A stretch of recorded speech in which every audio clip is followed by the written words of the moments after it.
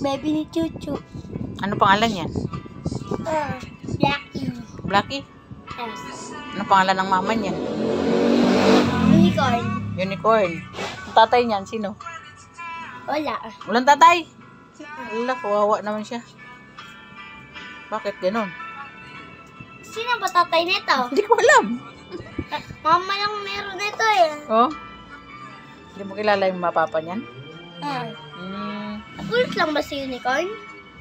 Hindi. May, may nagbigay niyan? Sin pangalan? Hmm. Lina. Lina? Yun po. Pero yung customer lang natin. Oh, customer nga natin yung si Lina. Nagbigay niyan. Sa baba? Si ano? Nagbigay ni Unicorn? Opo.